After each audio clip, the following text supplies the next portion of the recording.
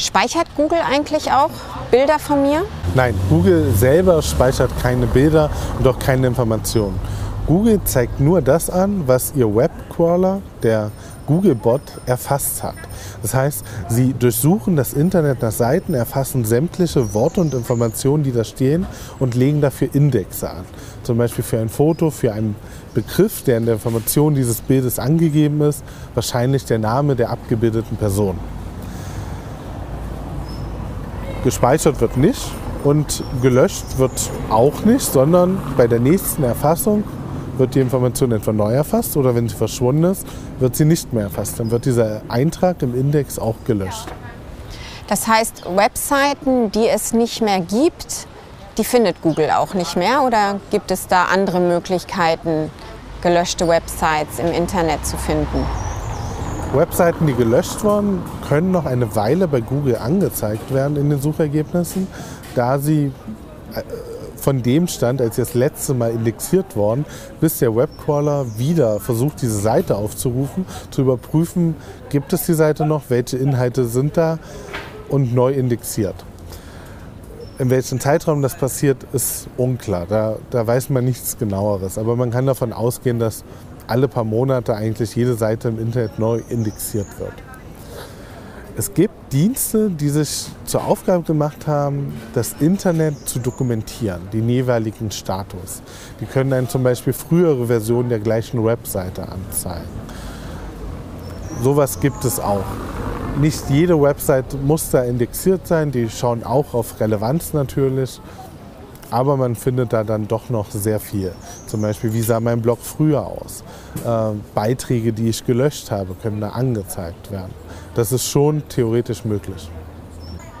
Gibt es für Suchmaschinen oder für Google oder andere Dienste ähm, eigentlich auch die Möglichkeit, noch anders an Fotos von mir oder an andere Daten zu gelangen?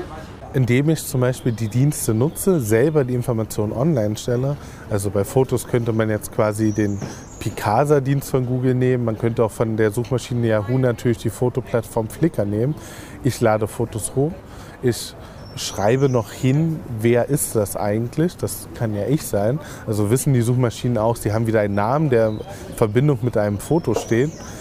In den Daten des Fotos steht vielleicht auch der Geotag, das heißt, ich weiß, wo wurde das Bild aufgenommen. Das kann ich ja auch alles einsammeln. Auch wann. Wann wurde es hochgeladen? Wer hat es hochgeladen? Im besten Fall natürlich ich. Und dann gibt es natürlich auch, das, das kennt man aber auch zum Beispiel von den Fotofunktionen bei Facebook, ähm, inzwischen sogar beim Mikroblogging-Dienst Twitter, dass ich sagen kann, wer ist in diesem Foto zu sehen. Und dann kann natürlich auch jemand anders schreiben, dass ich in diesem Foto zu sehen bin, ohne dass ich darauf Einfluss habe. Und das sind natürlich alles Informationen, die diese Dienste auch haben wollen, die sie speichern und die sie nutzen, ob sie dann zum Beispiel in den Ergebnissen der Suchmaschinen angezeigt werden, das hängt auch von den Privatsphäre-Einstellungen ein. Ich kann natürlich auch auf Picasa und Flickr Sachen hochladen und alles auf Privat stellen. Es soll nicht von Suchmaschinen erfasst werden. Dann speichern die Dienste diese Information trotzdem, weil sie sie ja selber benutzen wollen. Aber sie werden dann nicht öffentlich angezeigt. Oder ich sage, nein, es kann alles öffentlich erfasst werden. Ähm, die Suchmaschinen dürfen auch diese Seiten durchsuchen. Das kann man ja auch bei jedem Blog quasi einstellen, ob man das möchte. Und dann können diese Fotos auch in den Suchergebnissen erscheinen. Also suche ich einen, einen Begriff zum Beispiel in einer Suchmaschine, in der Bildersuche, dann finde ich sehr oft Fotos von der Wikipedia oder von Flickr vielleicht auch noch von irgendwelchen Stockfotografie-Plattformen, die natürlich gefunden werden wollen und deshalb auf diese Indexierung setzen. Sie erlauben Google und anderen Suchmaschinen mit dem Webcrawler vorbeizukommen, die Seite zu erfassen und die Informationen, die hier hinterlegt sind, zu speichern und dazu Indexe anzulegen. Wie kommen denn ähm, Suchmaschinen, zum Beispiel wie Google, noch an Daten über mich? Natürlich auch direkt durch mich als Nutzer. Was gebe ich an? Zum Beispiel bei Bildern könnte ich natürlich einen Dienst wie Picasa von Google nutzen oder die Flickr-Fotoplattform von einer anderen Suchmaschine Yahoo. Ich kann ein Foto da hochladen, das ist von mir. Ich kann angeben, das bin ich. Durch den Geotag, also die Information in der Bilddatei, wo dieses Bild aufgenommen wurde, wissen die Plattformen natürlich auch den Ort. Das können sie anzeigen oder anders nutzen. Sie wissen, wann ich das Foto aufgenommen habe sogar mit welcher Kamera, in welcher Auflösung und sie wissen natürlich, wann ich es hochgeladen habe. Das sind alles Informationen, die diese Plattform, diese Suchmaschinen speichern und nutzen wollen.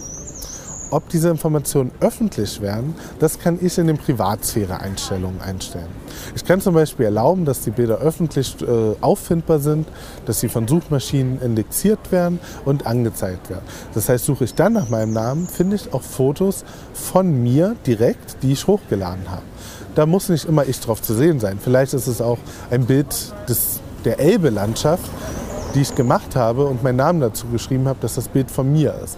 Denn diese Suchmaschinen indexieren ja sämtliche Begriffe. Und wenn Sie dann dieses Foto der Elbe sehen, indexieren Sie auch Tobias Schwarz, weil ich meinen Namen darunter geschrieben habe und setzen eine Verbindung zwischen dem Foto und meinem Namen. Der nächste Schritt ist natürlich auch, das können Dritte ja über mich auch machen. Das heißt, ich kann fotografiert werden und dann lädt das jemand bei sich hoch und schreibt, hier ist Tobias Schwarz zu sehen.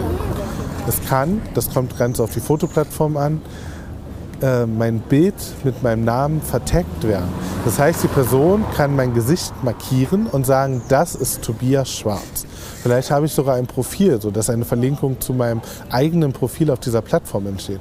Und schon können Suchmaschinen auch zu meinem Gesicht Profile anordnen, Informationen anzeigen lassen. Und suche ich dann meinen Namen, finde ich vielleicht eine direkte Porträtaufnahme von mir. Das ist unterschiedlich gut. Diese Technik ist noch nicht sehr ausgefeilt. Ich als Bartträger bin eigentlich sehr gut geschützt von Gesichtserkennungssoftware, da bis zu 40 Prozent meines Gesichtes mit Haaren bedeckt sind. Hat man ein, ein glattes Gesicht, zeigt sehr viel Haut, funktioniert diese Gesichtserkennung wesentlich besser.